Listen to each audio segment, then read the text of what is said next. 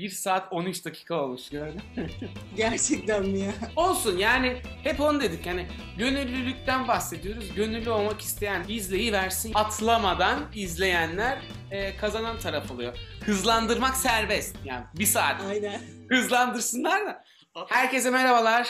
Bugün Gönüllü Hizmetler Derneği ile Destekleyen Kuruluşlar serisine bir video daha ekliyoruz. Gönüllü Hizmetler Derneği ESC Gönüllü Koordinatörü Meryem Aydın bugün bizlerle. Öncelikle davetimi kırmayıp bu röportaj serisine katıldığın için çok teşekkür ediyorum. Nasılsın? İyi misin? Öncelikle herkese merhabalar. Çok mutluyum ben de buraya katıldığım için. İyiyim, teşekkürler Deniz. Sen nasılsın? İyiyim, sağ ol. Ben de teşekkür ederim. İstersen hiç şey yapmayalım. Direkt böyle öz bir şekilde girelim. Bu seriyi artık hemen hemen e, kanalı bilen herkes biliyor. Direkt destekleyen, kuruluş arayan gönüllü adayları için nokta atışı sorularımıza başlayalım. Öncelikle ben e, hem kendini kısaca tanıtmanı ve daha sonra e, Gönüllü Hizmetler Derneği'ni kısaca tanıtmanı rica edeceğim senden. Söz sende. Tabii. Ben Meryem Aydın. Gönüllü Hizmetler Derneği'nde e, ESC koordinatör olarak çalışıyorum son 3 yıldan beri. E, kendim de daha önce e, e, ESC projesi, o zamanki adıyla Avrupa Gönüllü Hizmeti projesine katıldım. E, İtalya'da 12 aylık bir gönüllülük yaptım. E, çeşitli alanlarda çalışmalar gerçekleştiriyorum. Sosyoloji mezunuyum İstanbul Üniversitesi ama genellikle sivil toplum alanında ve gençlik alanında çok fazla çalışmalar gerçekleştiriyorum.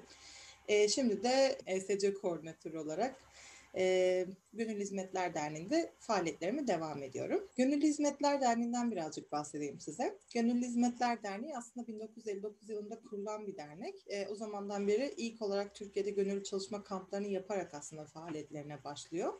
Daha sonrasında e, bu faaliyetler işte e, çeşitleniyor. Birazcık daha uluslararası gönüllü çalışma kamplarından çıkıp birazcık daha böyle farklı e, gençlere yönelik veya aslında 0-99 yaş arası tüm herkese yönelik programlara evrilmeye başlıyor. E, tabii ki arada yaşanan bir takım e, sıkıntılardan dolayı işte darbe gibi süreçlerden dolayı dernekler kapanıyor vesaire. Orada işte genç tur, gençlik turizmi e, ni yapan Genç Tur kuruluyor şirket olarak. Hatta bilenler bilir belki Interrail'den tanıyorsunuzdur Genç Tur'u. Genç Tur kurulduktan sonra faaliyetlerini aslında Gönüllü Hizmetler Derneği bu şekilde devam ettiriyor. 2002 yılında Gençlik Turizmi Derneği'ni kuruyor tekrardan e, bu gönüllü ekibimiz.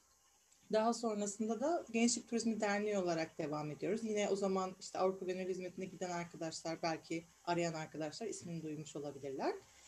2019 yılına geldiğimizde ise e, tekrardan eski e, halimize dönmek ihtiyacı hissederek e, ismimizi tekrar Gönüllü Hizmetler Derneği'ne çevirdik. E, bugün Genç Tur e, şirket olarak hala faaliyetlerine devam ediyor. Gönüllü Hizmetler Derneği de dernek olarak faaliyetlerine devam ediyor. E, bu anlamda çeşitli programlarımız mevcut. Şu anda 10 farklı programımız mevcut. E, bunların en temellerinden bir tanesi işte e, Uluslararası Gönüllü Çalışma Kampları, e, ESC programı.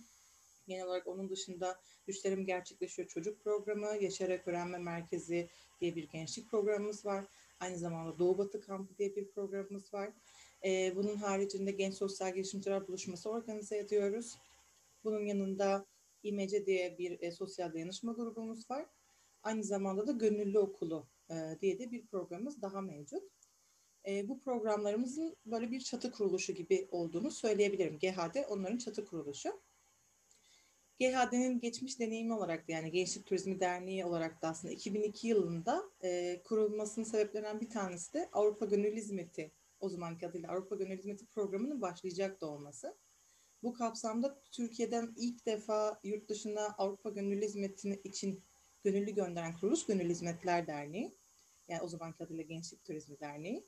Bunu da buradan söyleyeyim. Yani 2002 yılından beri aslında bu çalışmaları sürdürüyoruz biz. Dolayısıyla aslında o zamandan itibaren bugüne kadar getirdiğimiz bir e, sistemimiz var kendi içimizde ve bunu yürütmeye devam ediyoruz.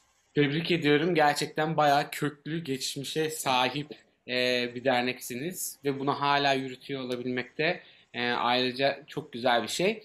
Aynı zamanda da ESC yani eski adıyla dediğiniz gibi EVS alanında da e, ilk çalışmayı başlatan e, kuruluşlardan biriymişsiniz. Bunu ben de bilmiyordum. O da ayrıca benim için de çok güzel bir bilgi oldu. Peki o zaman destekleyen kuruluş olarak görevleriniz nelerdir?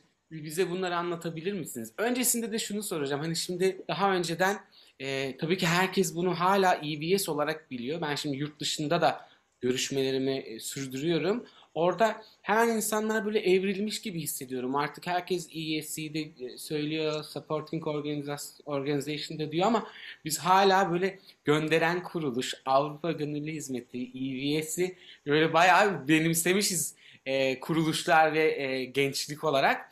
E, hem buna da böyle kısaca bir değinin ve aynı zamanda destekleyen kuruluş olarak görevleriniz nelerdir? Bunlardan da bahsedebilir misiniz?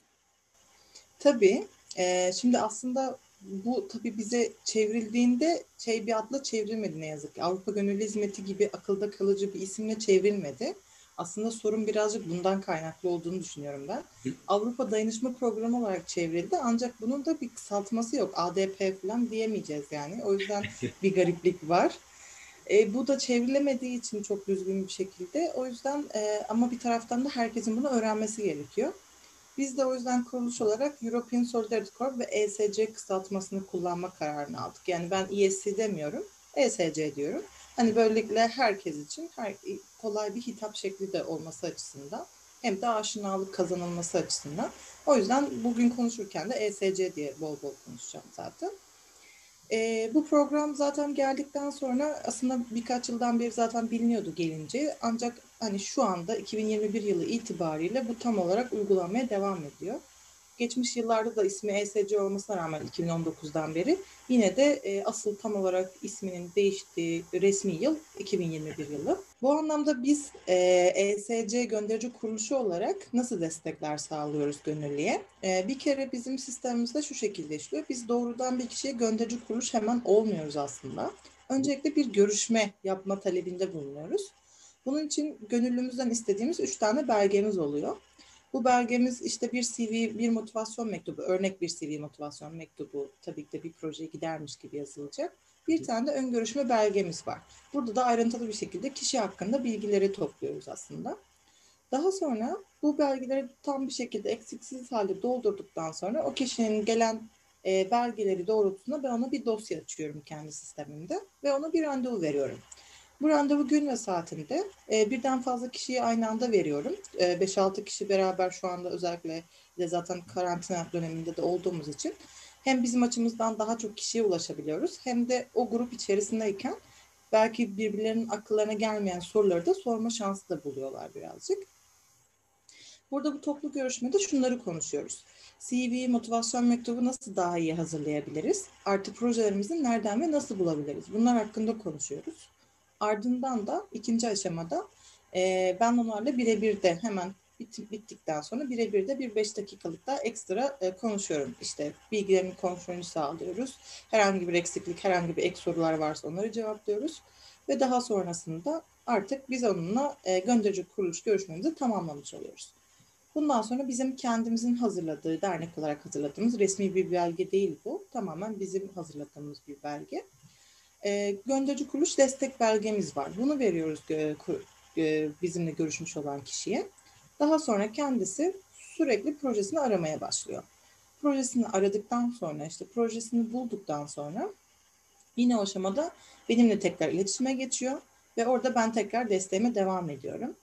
Bu aşamada işte e, vize sürecini alabilmesi için, vizeyi alabilmesi için işte ülkenin e, koşullarına göre evraklarını hazırlıyoruz. Çünkü işte bizim elimizde yıllardan beri biriktirdiğimiz bir database'imiz var. Hangi ülke ne tür vize veriyor, e, ne tür e, belgelerin hazırlanması gerekiyor veya organizasyona ne tür bir ilişki içerisinde olmamız lazım veya ulusal ajansın ne tür bir ilişki içerisinde olmamız lazım. Bunları biliyoruz. Her ülkenin farklı vize koşulları olduğu için çünkü. Bu anlamda bu, bu konuda e, destek oluyoruz gönüllümüze. Ve sonrasında da vizeyi aldıktan sonra gönüllümüzle eğer ulusal ajans organize ediyorsa onu ayrılış öncesi eğitimine gönderiyoruz. Eğer organize etmiyorsa o takdirde biz kendimiz e, birebir de bir saatlik daha bir görüşme yapıyoruz. Burada haklarımız hakkında konuşuyoruz ESC süreci boyunca. E, bizim haklarımız neler? Ne konularda nasıl sıkıntı yaşarsak nasıl davranmamız lazım? İşte Signa sağlık sigortası gibi sağlık sigortası o anda neyse onun nasıl kullanılacağı ile ilgili veya bir takım pratik bilgiler. işte hiç yurt dışına çıkmamış bir gönüllüyse ona göre uçağa nasıl binilir, uçakta dikkat edilmesi gereken şeyler veya şu anda korona döneminde ek alınabilecek önlemlerle ilgili bilgiler sağlıyoruz. ESCC boyunca da zaten e, aynı zamanda gönüllümüzü desteklemeye devam ediyoruz. Herhangi bir sorununda bizimle iletişime geçiyor sürekli. E, ve aynı sürede bize raporlar yazıyor. Bunları web sayfamıza yüklüyoruz. Döndükten sonra da e, zaten orada bir son raporla, son bir kere e, görüşmeyle sürecimiz tamamlanmış oluyor.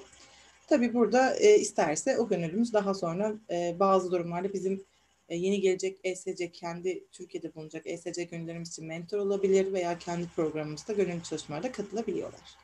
Bu şekilde aslında tüm sürecimiz. Çok güzel. Siz direkt Gönüllü Hizmetler Derneği olarak e, bir gönüllüyle destekleyen kuruluş olarak anlaştığınızda sürecin nasıl işlediğini e, anlatmış oldunuz.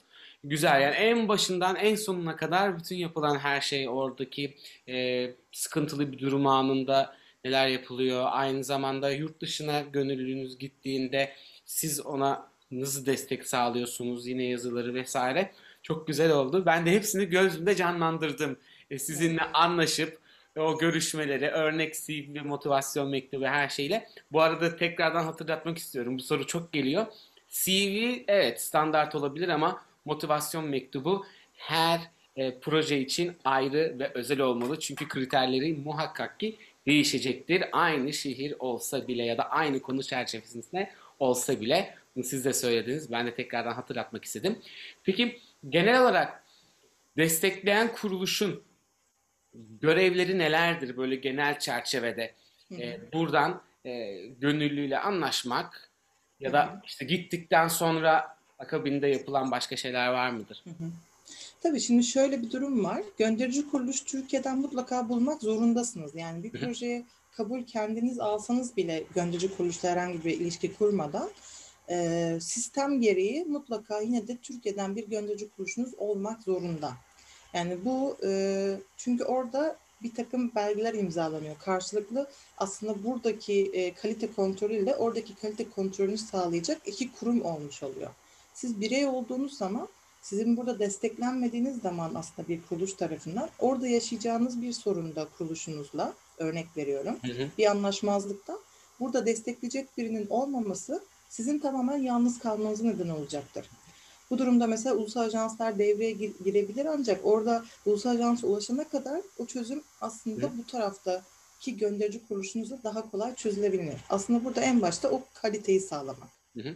Hemen bununla ilgili bana yakın zamanda gelen bir soru var. Bu da buna güzel örnek olacak. Örnek veriyorum. Oraya bir gönüllü gitti.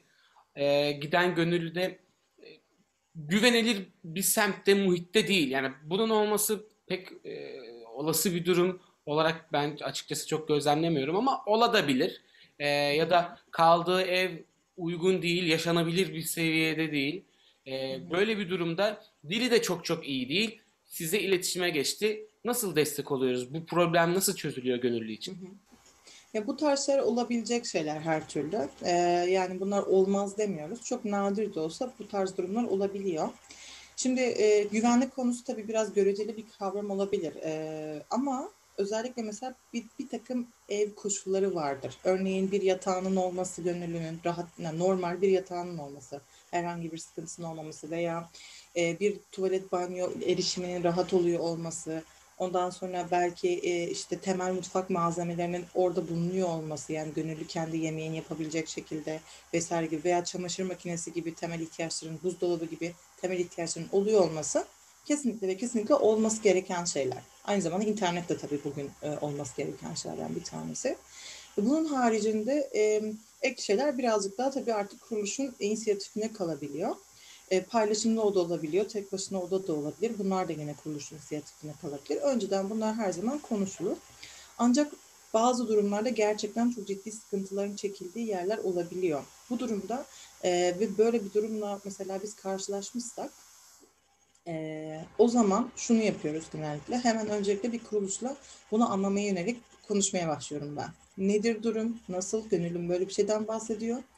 E, siz bu konu ne diyorsunuz diye bununla ilgili hemen onlarla bir iletişime kuruyorum. Zaten kuruluş iyi bir organizasyonsa hemen e, anında cevap verir. Böyle böyle durum aslında diye açıklama yapar. Çünkü bazen gönüllüler olarak da bizler hassas olabiliyoruz. Ben de gönüllüydüm. E, yani hassas olabiliyoruz bazı konularda. Çünkü bambaşka bir ülkede olduğumuz için en ufak şeyler bile bizi çok fazlasıyla böyle gerebiliyor. O yüzden önce her iki tarafın durumunu anlamaya çalışıyorum. Durumu anladıktan sonra çözülebilecek bir şeyse hemen işte e, kuruluştan ona göre talep ediyorum. Bakın böyle olmaz. Hani bunun iyileştirilmesi lazım. Şu kadar süreniz var. Bu kadar sürede iyileştirirseniz seviniriz diye. Zaten de kuruluş bize veriyor. Şu kadar zamana kadar çözeceğiz kesinlikle diye. O sırada ben gönüllüyle temasta devam ediyorum konuşmaya. Gelişme var mı, nasıl oldu vesaire gibi. Gelişme yoksa diyelim ki yani genellikle oluyor. Yani sonunda mutlaka o çözüme kavuşuyor. Ama diyelim ki e, gelişme olmadı. Hala sıkıntı devam ediyor. O takdirde devreye zaten ulusal ajanslar sokulur. Yani o takdirde hemen e, işte gönüllü bireysel olarak da kendisi de yazabilir benim desteğimle beraber. Veya e, hani beraber de yazıyor olabiliriz. Genellikle gönüllülerin bireysel yazması daha önemli. Çünkü gönüllüler bir taraftan çok ciddi haklarla korunuyor bu program kapsamında. Siz bir ulusal ajansa mail gönderiyorsunuz o ülkenin ulusal ajansına. Bu ciddi bir şey anlamına gelir ve ulusal ajans hemen bunun takipçisi olur. Ee, kesinlikle ve kesinlikle gönüllünün mağdur olmaması en temelde yapılan bir tanesidir. Ama tabii ki de böyle fevri bir şey olduğuna karar verilirse sonunda bir aksiyon alınmayabilir ama incelenir, ulusal ajans tarafından bakılır. Evet bu fevri değil, bu gerçekten hakkı olduğu söylenirse ona göre bir takım yaptırımlar uygulanır, bir takım seçenekler sunulabilir. Bir örnek vereyim. Ee, bir gönüllümüz İspanya'da kalıyordu.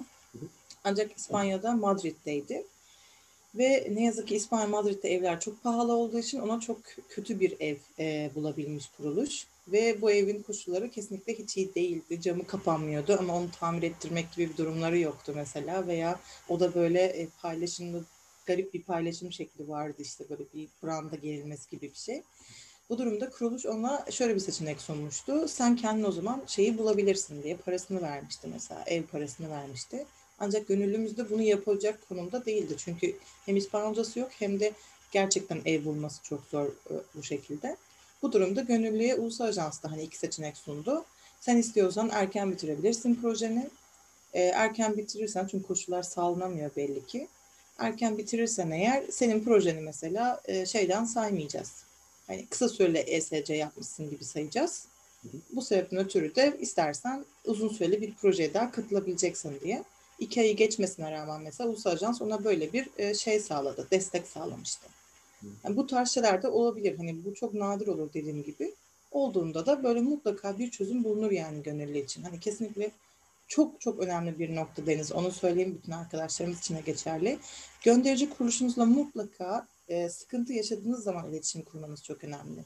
Çünkü aylar geçip böyle bir sıkıntıyı aylarca çektikten sonra sonuna yaklaşırken bunu söylemesinin hiçbir anlamı yok. Ne sizin için çekti yani ne e, çektiğiniz acıya değer ne de böyle e, boş yere hani son anda bir gerginlik olur, olmuş olur. Anında yaşadığınız sorunu önce mentörünüzle sonra oradaki koordinatörünüzle konuşmalısınız. Ondan sonra buradaki gönderici kuruluşunuza mutlaka durumu iletmelisiniz vakit kaybetmeden. Biz Türkiye'den gittiğimiz için birazcık şey yapıyoruz. Aman rahatımız bozulmasın, aman bir şey demeyeyim. Hani belki anlarlar, belki düzelir deyip böyle konuşmuyoruz, iletişim kurmuyoruz. Ama iletişim kurmak çok önemli. Ayrılış öncesi eğitimlerinde de bunu sık sık söylüyorum e, kendi gönüllerime de. Mutlaka konuşmanız çok çok önemli diye.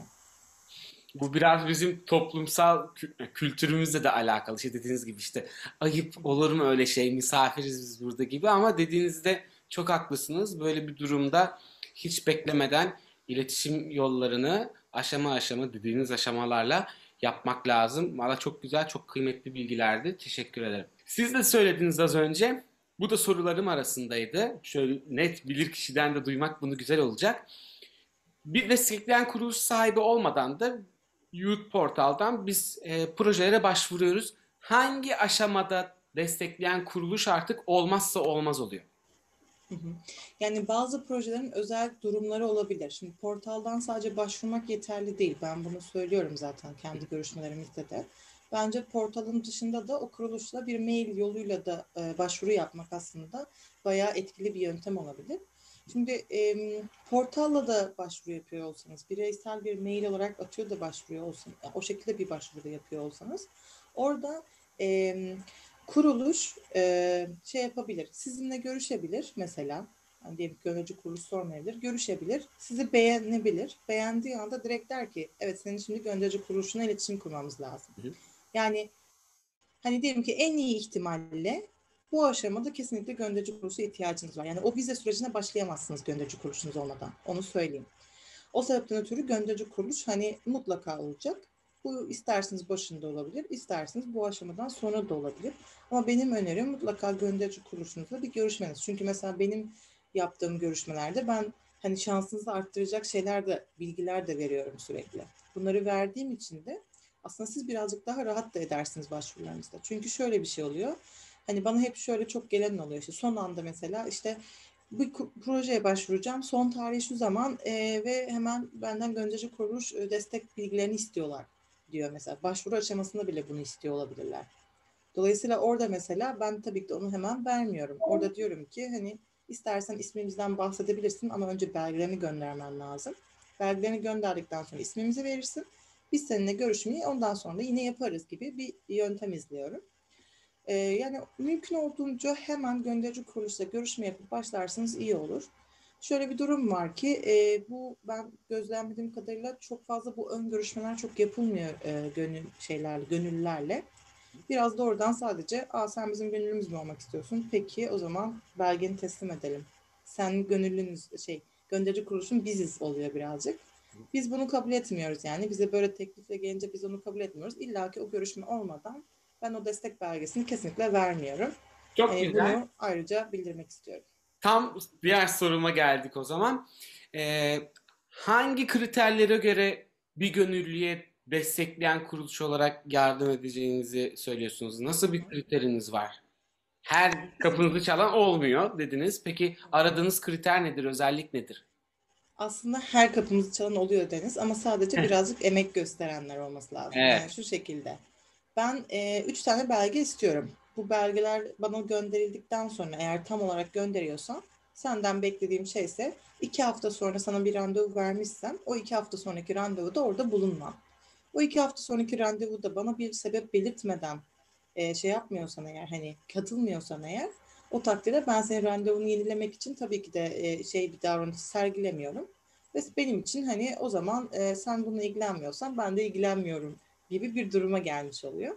Ama ilgilenenlerle zaten e, verdiğim randevu günü görüşüyoruz birebir de. E, yani toplu görüşmelerde, o görüşmelerde görüşüyoruz. Herkesle konuşuyoruz. E, böyle çok ekstrem bir şey görmediğim sürece gerçekten herkese zaten bu belgeyi veriyorum. E, yani herhangi bir kriterim yok diyebilirim. Sadece bunu istiyor olmak, e, gerekli belgeleri gönderiyor olmak, e, zamanında görüşmede olmak benim için yeterli. E, gönderici kuruluş destek belgesini mutlaka veriyorum zaten sonrasında. O görüşmeye geldiysen kesin alıyorsun. E, Ama bunun haricinde ek bir kriter aramıyoruz. Çünkü Peki. zaten bu en başta belgeyi vermezsen zaten sonraki aşamalarda ben şansının da çok olacağını düşünmüyorum bu kişilerin. Böyle de bir gerçeklik var. Çünkü motivasyon mektubunu sürekli yenilemen gerekecek. Sürekli düzenlemen gerekecek. Sen bu aşamada vazgeçiyorsan o zaman zaten e, şu anda çok da bir şansın yok aslında. Evet. Bu arada CV, Europass CV ve motivasyon mektubunun nasıl olması gerektiği ile ilgili videolarıma bu videoyu izleyen arkadaşlar da bakabilirler. Hem e, destekleyen kuruluş hem de gönüllü röportajlarındaki e, arkadaşlar da hep bize bununla ilgili yaptıkları çalışmaları söylüyorlar. Oralardan da feyz alabilirsiniz. Aynı zamanda e, sizin de söylediğiniz gibi ben e-postaya da çok önem veriyorum.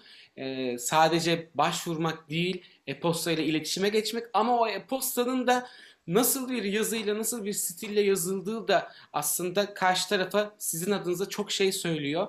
O yüzden ben de bununla çok karşılaşıyorum ve sırf bu yüzden e-posta nasıl yazılmalı, özellikle ESC özelinde nasıl olmalı buna da değindiğim bir videom oldu. Çünkü bana göre o da önemli. Yani karşı tarafa verdiğiniz hissiyat yüz yüze görüşmeden önce e, yazıyla oluyor. Görmeden, mimikler olmadan oluyor. O yüzden hani hiçbir şey olmadan, konu başlığı olmadan merhaba ben gönüllü olacağım diye yazmak olmaz yani kendini tanıt bir şey yap. Yani gerçekten ben bile bazen videolarımda sadece post değil yapılan yorumlarda bile böyle görüyorum. O yüzden o dediğiniz şeyi çok çok iyi anlıyorum. En azından gönüllülükse o gönüllülük ruhunu daha en baştan hissedebilmek çok önemli. Sizin, benim ve diğer pek çok bu alanda e, elinden gelen her türlü çalışmayı yapan kişilerin bence bunu istiyor olması çok normal. Gönüllü adaylar içinde bu şöyle küçük bir e, şey olsun, sufle olsun. Ve diğer soruma geçeceğim. Farklı illerden diye sormuş muydum? Çok pardon. Farklı illerden herkes size gönüllü adayı olarak başvurabilir mi? Görüşmeler, işlemler online olabilir mi? Evet, zaten daha önceden de bu şekilde, korona öncesinde de aslında bu şekilde ilerliyorduk. İstanbul'da olanlarla fiziksel görüşme yapıyorduk. Ee, şehir dışında olanlarla e, birebir de Skype görüşmeleri yapıyorduk. Şimdi artık herkes zaten online görüşme yapıyor. Biz de zaten evden çalışıyoruz. O yüzden hangi şehirde olduğunuzun hiçbir önemi yok. Aynı şekilde e, çünkü zaten hiçbir şey artık fiziksel olmadığı için de bir takım belgeler gerektiği zaman da o gönderimler illaki postayla bir şeyle yapılabiliyor. O, o da artık zaten gerekmiyor çoğu proje içinde. O sebeple her yerden herkes e, bize başvuruda bulunabilir. Süper. Peki şimdi madalyonun öteki tarafından bir soru soracağım. Destekleyen kuruluşun kriterlerini sorduk. Bir gönüllü e, aradığı kriterleri. Peki bir gönüllü e, veri sayfasına girdiğinde bir sürü destekleyen kuruluş görüyor. Sizce bir gönüllü destekleyen kuruluşa başvururken, destek isterken e, neye dikkat etmesi lazım? Nasıl bir e, kriter lazım? Bunun için de bir şey söyleyebilir misiniz? Hı hı. Ya tabii şimdi şöyle bakmak lazım. Birazcık em, açıkçası onların bir web sayfalarına bakmak iyi olur. Çünkü her akredite kuruluş, gönderici kuruluş olarak çalışıyor diye bir şey yok. Bu bize sık geliyor. Hani birçok kişiyi aradım işte ulaşamadım. En sonunda sizi buldum falan gibi. Ve ne yazık ki böyle bir şey var. Yani akredite olunuyor ancak o sadece özel projeler için belki bunu yapmış olabilir. Ee, bir takım ortaklıkları için bunu yapmış olabilir. Dolayısıyla gönderici kuruluş olarak faaliyet gösteriyor anlamına gelmiyor bu. Ee, işte aslında bu tarz senin hazırladığın videolar e, Deniz bu anlamda e, faydalı. Çünkü zaten ben de videolarına baktığımda aslında o çalışan kuruluşları burada görebiliyoruz. Çok sık kuruluş yok. Benim de bildiğim zaten bir 10-12 tane falan kuruluş var böyle aktif olarak gönderici e, Evet. kuruluş olarak çalışma yapan. Onun dışında diğer kuruluşlar bazen üniversiteler falan olabiliyor ama onlar özel anlaşmalar yapıyorlar genellikle. Kısa süreli ESC'ler yapıyor ve kendi gönüllerini göndermek, yani kendi üniversite öğrencilerini göndermek gibi bir yöntem izleyebiliyorlar. Ama işte biz gibi senin işte e, sitende, şey, YouTube sayfanda yer alan e, kuruluşlar gibi e, kuruluşlar zaten hani internette araştırdığınızda direkt karşınıza çıkıyor. YouTube'a baktığınızda karşınıza çıkıyor. Birçok kuruluşta işte bizim eski gönüllerimizin çektiği videolarda bizim adımızı duyarak gelen de çok Hı hı. Ee, o anlamda ona baksınlar. E, Daha sonra hani her yani kuruluşun kendi yoğurt yiyişi var birazcık da. Ben kendi yoğurt yiyişimi söyledim size nasıl yaptığımı. Ben bu ön, ön görüşmeyi önemsiyorum. Bununla ilgili çalışma yapıyorum. Her kuruluş bunu yapmıyor olabilir. Ee, veya bu destek belgesini doğrudan veriyor da olabilir. Orada artık e, gönüllünün kendi tercihine kalmış durumda. Yani çünkü çok şey oluyor yani işte ben şu A kuruluşundaydım işte size geldim veya ben e, sizdeydim bazen öyle de olabiliyor ama bu kuruluşun işte bu e, ben sizin gönüllünüzdüm ama işte bu gittiğim proje bu kuruluşla partnermiş diyor mesela. Hı. Orada da yine bizim için sıkıntı yok. Sonuçta o gittikten sonra hani e, bizden gitmiş veya başka bir yerden gitmiş çok da önemli değil. Yani biz bunun için de ekstra şey yapmıyoruz hani. Aman nasıl ben sana o kadar emek verdim gidemezsin gibi bir şey söz konusu değil mesela. O yüzden hani e, nasıl rahat ediyorlarsa, hangi kuruluşla çalışmak istiyorlarsa onu seçmekte zaten özgürler. Evet. Yani sizin de dediğiniz gibi zaten böyle e, resmi bir belgesi vesairesi, sözleşmesi, kontratı yok zaten bu işin. Ta ki ne zamana kadar e, her iki tarafta yani ev sahibi kuruluşla e, destekleyen kuruluş imzaları atana kadar her şey tabii ki dediğiniz gibi olabilir belli bir noktaya kadar. Çok güzel bir noktaya değindiniz. Bu da sorularım arasında. Açıkçası benim böyle içimi cız eden, e, üzen bir soru ve özellikle bu yıl itibariyle ben bu soruyla çok karşılaştım. Hem YouTube'daki e, yorumlarıma geliyor, özel olarak e-posta ve Instagram'dan da geliyor. E, siz de bu konuya açıklık getirebilirsiniz diye tahmin ediyorum. Bu işin içinde torpil var mı? Çünkü herkes şunu soruyor. Ben o kadar projeye başvurdum. Hiç kimse geri dönüş yapmadı. Ee, nasıl olur? Ben daha iyiyim. Başka insanlara bakıyorum. Hani bu konuda ne söyleyeceksiniz? Ben naçizane kendi görüşümü söyleyeyim. Yani şimdi sisteme baktığımızda ne yazık ki asla olamaz diye bir şey ben açıkçası söyleyemem. Hani böyle bir durum yok. Ama bildiğim kadarıyla yanlışım varsa siz de düzeltin. Bu iş daha çok biraz da yurt dışı tarafından e, ayarlandığı için hani seçimler, tercihler yapıldığı için hani direkt buradan bu noktadan bir destekleyen kuruluşun torpiliyle olacak ve o yüzden örnek veriyorum Türkiye'den her gün bin kişi başvuruyor ve 900'ü e, torpilli geri kalan yüzde hakkıyla hani ne düşünüyorsunuz bu konuda gerçekten e, ben de merak ediyorum. Torpil var mı? Net böyle. Evet. Tabii ki de torpil yok Deniz yani bu çok böyle spekülasyon hatta böyle şey komple teorisi gibi bir şey. Öyle bir şeyin olmasına imkan yok ama e, hani şununla karşılaşabilirler. Onu da torpil zannetmesinler. Onun için bir açıklık getireyim mesela konuya. Örneğin ben şöyle bir şey yapabilirim. Gönüllü Hizmetler Derneği olarak e, Almanya'daki A kuruluşuyla partnerlik kurabilirim. Bu takdirde benim kurduğum partnerlik sonucunda A kuruluşu e, bana şunu yapabilir işte ben bu yıl içerisinde 2021 yılı içerisinde bir tane gönüllü onlara göndereceğim. Bu takdirde Almanya'daki kuruluş sadece gönderici kuruluş olarak benimle çalışacaktır. Yani başka bir e, kuruluşun e, gönüllüsüyle çalışmayacaktır. Ama şu, şu şu anlama gelmiyor bu. İlla ben o gönüllüyü seçip göndereceğim anlamına gelmiyor.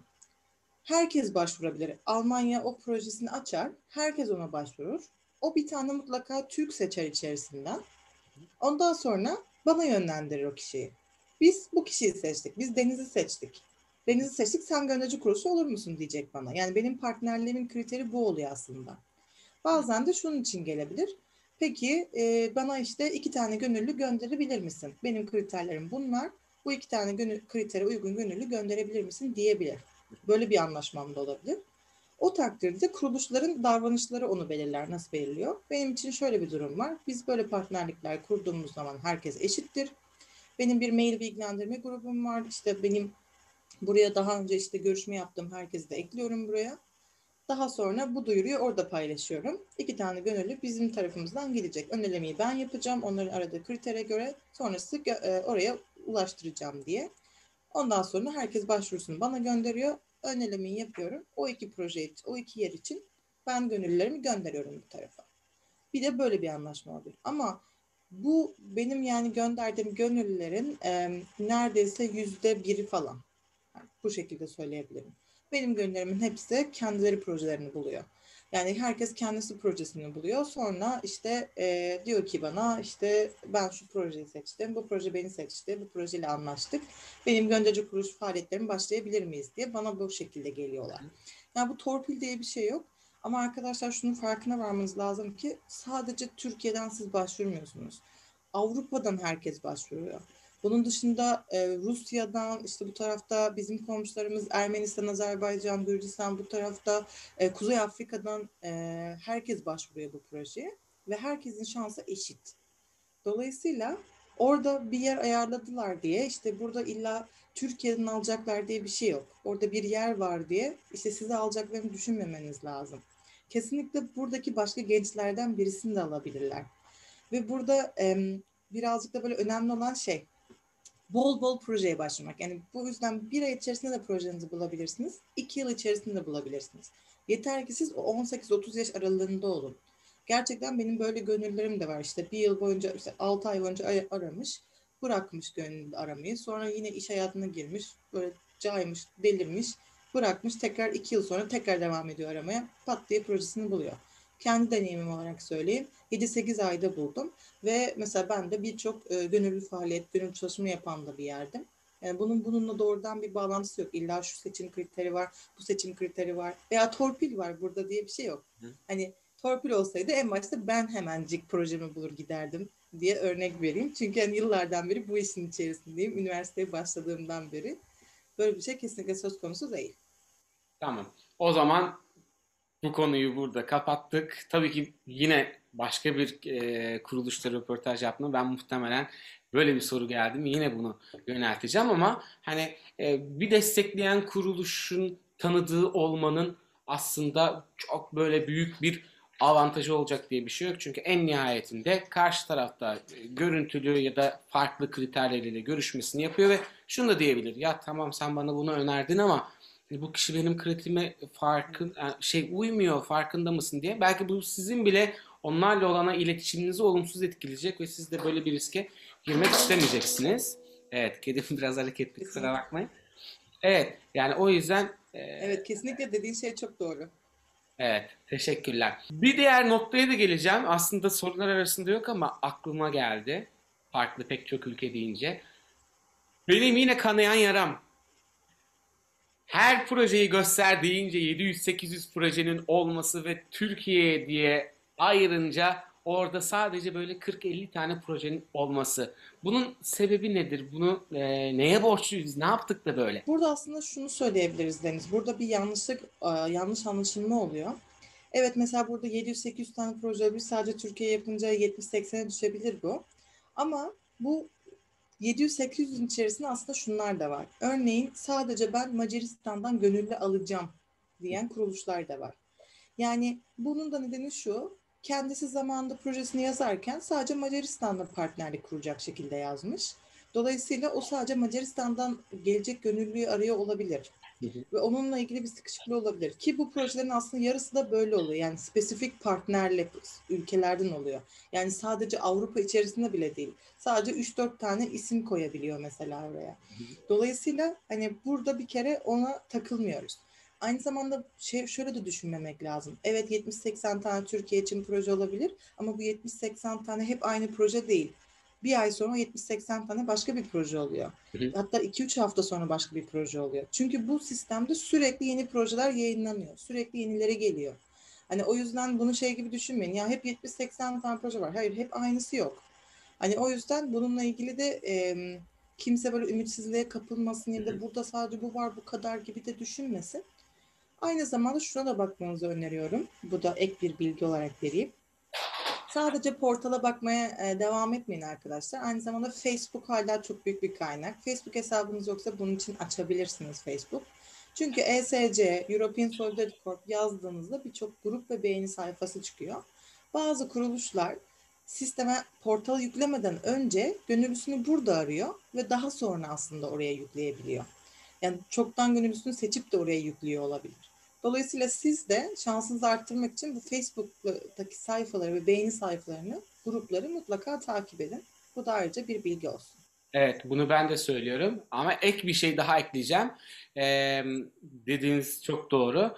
Ne olursa olsun yine de bir anlaşma yapmadan önce muhakkak temkinli olup tedbiri de elden bırakmayın. Çünkü hani e, çok farklı noktalara giden gönüllü adayları da karşılaştığım ya bu işte ben ücretsiz biliyordum benden işte şu kadar bin euro istiyorlar falan gibi durumlarla da karşılaştım. O yüzden yine de net bir şekilde Youth portaldan resmi bir noktaya varmadan ya da destekleyen kuruluşla artık işin güvenilirliğini sağlamadan e, sakın böyle şeylere kalkışmayın. Zaten bu işte sizin cebinizden çıkacak pasaport dışında bir para aslında yok. Hani çok farklı özel durumlarda bazen karşılamanız gereken masraflar olabiliyor. Hani o kısma şimdi girmeyeceğim. O çok özel bir durum. Onu zaten işte bu durumlarda destekleyen kuruluşla e, anlaşıp bu konuda bilgi sahibi olabilirsiniz. Destekleyen kuruluş evet hani tam böyle anlaşma aşamasında önem kazanıyor gibi görünse de ne kadar erken bulursanız da o kadar iyi. Bu da buna güzel bir örnek oldu. Bir sorum daha olacak. Kısa dönem proje de bulmak çok zor oluyor. Ee, özellikle bu e, aylarda kısa dönem proje başvuruları daha çok oluyor yaz için. Ee, sizin bu konuda ekstra bir bilginiz var mı? Bize böyle bir verebileceğimiz, yardımcı olabileceğiniz. Tabii şimdi şöyle bir şey var. Ee, öncelikle şu anda bu projeler mümkün değil. Bu yaz için de kesinlikle mümkün değil. Onu söyleyebilirim. Bunun nedeni tamamen korona kaynaklı e, vize, e, kısa süreli vizelerin açılmayacak olması aslında. Hı hı. Bu ESC kapsamında dahi olsa e, ya yeşil pasaportunuz dahi olsa bu projelere gitme ihtimaliniz neredeyse şu anda hiç yok gibi bir şey. Eğer böyle gerçekten ani bir değişiklik olmazsa. E, bu yıl için değil ama gelecek seneler için birazcık konuşabilirim. Şimdi bu tarz projeler genellikle e, kısa süreli olmalarının sebebi birazcık daha dezavantajlı gençlere öncelik vermek. Yani dezavantajlı, maddi imkan dezavantajlı olabilir. Ee, belki işte bir ülkede mülteci konumunda olabilir, göçmen konumunda olabilir, o tarz dezavantajlar olabilir veya e, engelli olabilir, engelli bir genç olabilir. Bu anlamda onlara öncelik vermek, onların da ESC programını, gönüllülük programını birazcık deneyimlemek olduğu için olanlar da genellikle e, bu tarz kitleyi, hedef kitleyi e, kendisine baz alır. Dolayısıyla buralarda hani e, gitme şansımız birazcık daha düşük olduğunu söyleyebilirim eğer böyle bir özel durumunuz yoksa.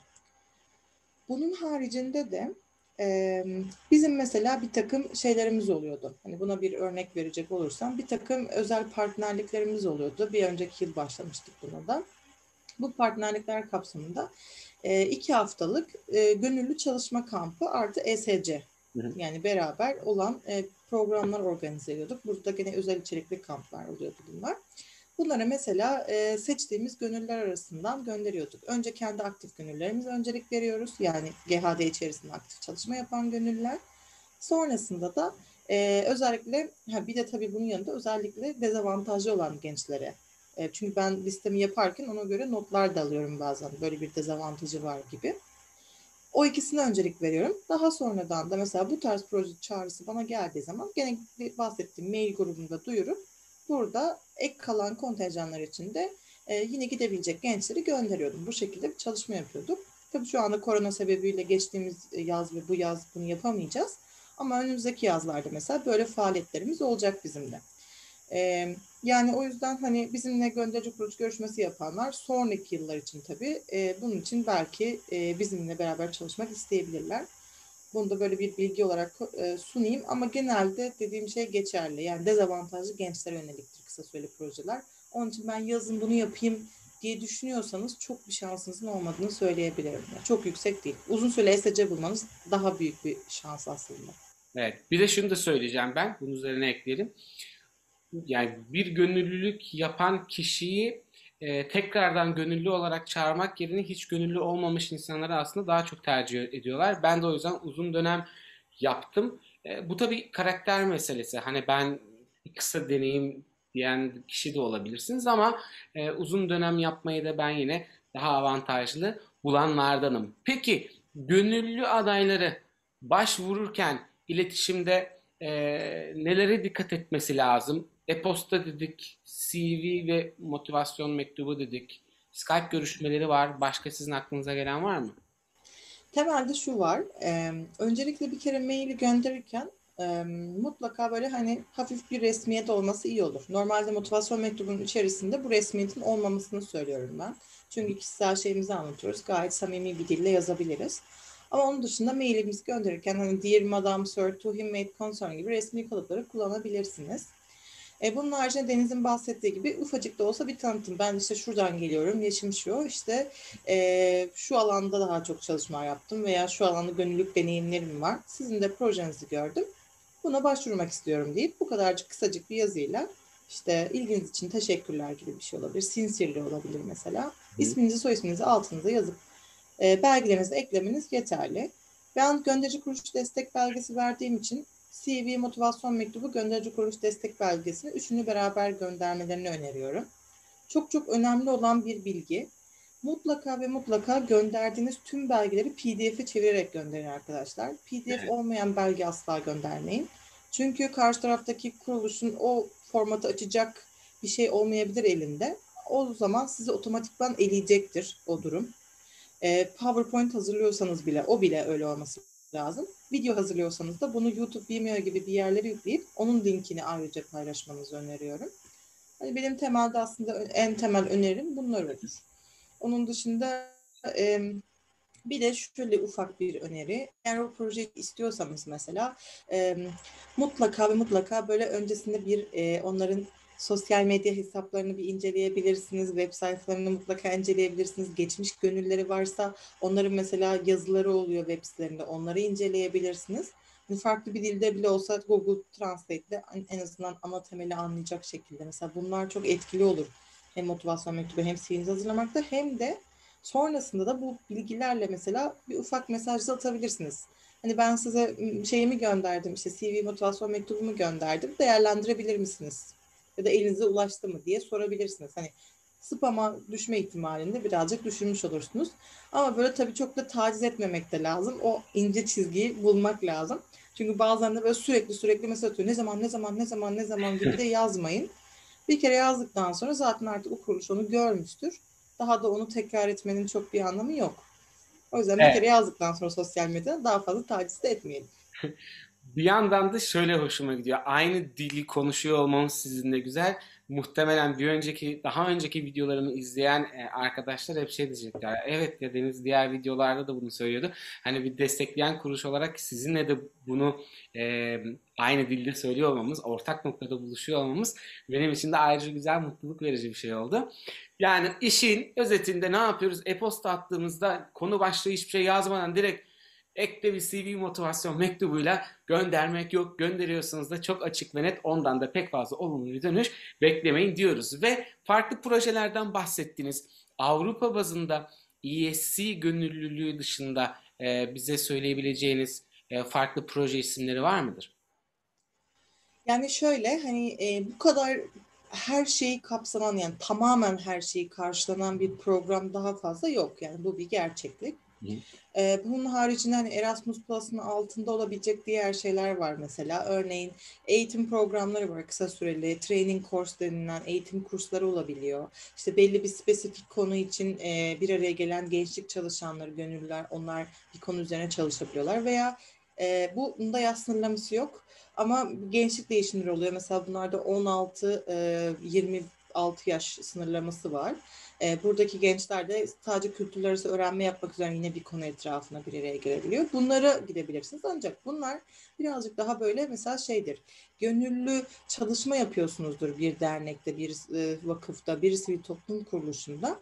Onun yaptığı partnerlik aracılığıyla birazcık bunlara gidebilirsiniz. Yoksa dışarıdan bir kişinin hani e, çünkü mesela ben kendi kuruluşum olarak konuşayım bir training kursu olursa, bir eğitim kursu olursa ben kendi aktif gönüllümü gönderiyorum oraya. Çünkü zaten orada beni temsilen gidiyor oraya. Dolayısıyla bunlar da çok bir hani e, bulma şansınız olmayabilir. Bazen bununla ilgili de çünkü bilgiler geliyor. Yani bizim en azından prensip olarak uyguladığımız şey bu. Geri kalan genel olarak gönüllülük düşünüyorsanız mesela orada bizimle gönüllü olduktan sonra zaten bu tarz fırsatların sürekli sizin önünüze çıkardığımızda görürsünüz. Bu da dernek açısından bizim bir prensibimizi e, paylaşmış olayım herkesle. Bunun haricinde bizim yaptığımız bir program var ama bu YES'den bambaşka bir program. Bu e, gönüllü çalışma kampları diye bahsettim en başta. Birazcık bundan bahsedebilirim istersen Deniz. Tabii tabii ben evet. onu bekliyordum zaten sizden. Evet. E, gönüllü çalışma kampları arkadaşlar sadece Avrupa için geçerli değil. Dünyanın yüzden fazla ülkesinde olan e, bir program. Bu program aslında 1920 yılında böyle e, işte Birinci Dünya Savaşı'ndan sonra yıkılan aslında Avrupa'da böyle hep beraber e, el birliğiyle insanlar nasıl bir araya gelip bunu düzeltiriz, tekrar iyi hale getiririz mantığıyla başlıyor. Ve e, işte 1959 yılında ilk defa Türkiye'de e, Gönül Hizmetler Derneği tarafından Türkiye'de de yapılıyor bu. Köy o zamanlar işte ne yapılıyor? Köy e, merkezlerine gidilip orada su yolları kazılıyor mesela. İhtiyaç olan şeyler tamamlanıyor. Gene böyle gönüllüler tarafından. Burada herhangi bir yaş sınırlaması da yok. Ee, dediğim gibi dünyanın yüzden fazla ülkesine gidebilirsiniz. 2-3 haftalık programlar oluyor genellikle. Bu kapsamda size konaklama, yemek içme sağlanıyor. Orada işte farklı ülkelerden gelmiş insanlarla beraber e, genellikle bedensel ağırlıklı işler yapıyorsunuz. İşte bu bir çevre düzenlemesi de olabilir. Bu bir okul boyamak da olabilir. Bu işte bir kültür kampı da olabilir. Spesifik bir e, konu üzerine işte bir festival kampı da olabilir. E, bu tarz faaliyetler çeşitlenebiliyor içerisinde. İşte bu kapsamda bunun tabii bir kayıt ücreti oluyor. E, bu hem bizim derneğimizin sürdürülebilirliği için kullanılıyor hem de bir taraftan da e, size sağladığımız işte vize belgesinin getirilmesi vesaire gibi destekler veya sizin o kampa yerleştirmeniz gibi aslında administratif dediğimiz o arka plandaki işler için kullanılan bir ücret bu. Bunun haricinde bir de işte e, ulaşım masrafı ve gittiğiniz ülkede vize varsa onu siz karşılıyorsunuz. Yine tabii ki de hani böyle çok ucuz değil çünkü şu anki euronun şeyinden kaynaklı. Ama yine de mesela bir tatil yapmak isteseniz bir Avrupa ülkesinde veya başka bir ülkede ona göre kıyasla çok çok daha ucuz oluyor. Artı kazancınız hem dilinizi biraz pratik yapabileceğiniz hem bir taraftan böyle e, yeni kültürlerle doğrudan tanışabileceğiniz de bir ortam oluyor. Ve iki hafta, üç hafta boyunca bu kadar iç içe olursanız birileriyle gerçekten isteseniz istemeseniz de o İngilizceniz ortaya çıkıyor mutlaka. Ve bir taraftan da o kültürleri de böyle illaki tanıyorsunuz fazlasıyla. Çünkü yan tarafınızda işte bir Japon yatıyor. Bu tarafınızda belki bir Amerikalı yatıyor. Böyle bir e, ortamda beraber zaman geçiriyorsunuz. O yüzden bu kampları da öneriyorum. Ben hani kendim de e, daha önceden de hem yurt içinde hem yurt dışında bu kamplara da katıldım. Belki İngilizcemin birazcık daha gelişmesinin en temel sebeplerinden bir tanesi de buydu yani. O yüzden öneriyorum. Yaş sınırlaması da yok dediğim gibi. Yani 99 yaşına kadar herkes buna katılabiliyor. Bu sadece hani e, Türkiye'de iki kuruluş yapıyor. Gönüllü Hizmetler Derneği ve Ankara'da Gençlik Servisi Merkezi. E, bunun dışında bu bir ağ aslında, uluslararası bir ağ. E, UNESCO'nun da hatta desteklediği bir ağ sistemi içerisinde bu çalışmalar gerçekleştiriliyor. Yani o yüzden hani Erasmus Plus programı değil, o kafanızı karıştırmasın. Neden ücretli olduğunun sebebi aslında bu. Bunun bir fonu yok doğrudan. Hmm. E, o sebepten ötürü de bu şekilde uluslararası aslında e, faaliyetleri gerçekleştirebilirsiniz. Siz de katılabilirsiniz diye söyleyeyim. Teşekkürler. Bu arada e, şeyi de yine ekleyelim. Destekleyen kuruluş olarak ESCAN e, programında size bir başvuru yapıldığında bunun da bir ücret yok değil mi? Bunun yine bir teyidini yapalım. Kesinlikle kesinlikle yok. Ben bunu da e, söyleyecektim. İyi hatırlattın. Herhangi bir kuruluş, herhangi bir sebepten ötürü dernek üyeliği dahi isteyemez. Yani sizden gönderici kuruluş olması için derneğimize üye olman lazım ve üyelik aidatı vermen lazım diye bir ibare kullanırsa bu dahi yasak. Bunu hemen Türkiye Ulusal Ajansı'na bildiriyorsunuz, bildiriyorsunuz ua.gov.tr işte söyleyeyim bilgi et ua.gov.tr adresine veya esc.ua.gov.tr adresine buraya doğrudan e, kuruluşun ismini size bunu teklif ettiğini gösteren belgeyi, maili vesaireyi doğrudan iletiyorsunuz ve onların akreditasyonları direkt iptal oluyor zaten böyle bir ücret talebinde bulunduğu için. Kesinlikle ve kesinlikle bu hizmetlerin tamamı ücretsizdir. Süper. Verdiğiniz bilgiler çok kıymetli. Zaman ayırıp katıldığınız için tekrardan teşekkür ediyorum. Nokta atışı genelde yaptığım bir şeydir. Hani böyle nokta atışı gönüllüye söylemek istersiniz diye ama aslında o kadar çok nokta atışı şey söyledik ki yani en son sormuş olsam belki nokta atışı bu ücret olacaktı. o yüzden e, bu soruyu sormayacağım ama tabii eklemek istediğiniz bir şey varsa e, şey yapabilirsiniz, söyleyebilirsiniz. Ben ekleyeyim. Ee, tamam. Birçok e, aynen çok ufak bir şey.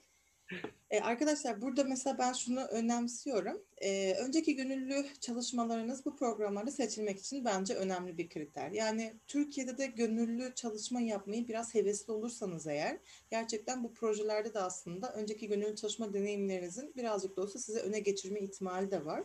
Ki aynı zamanda hani burada da biraz aşina olursanız yapacağınız şeylere oradaki şeyler de aynı olacak. Yani bu bir iş değil bir gönüllü çalışma. O yüzden e, farklı dernekleri, farklı kuruluşları, farklı vakıfları bunları mutlaka araştırın. Bunlarda gönüllü çalışmalar yapmaya kendinizi teşvik edin diye e, ben bir şey söylemek istiyorum.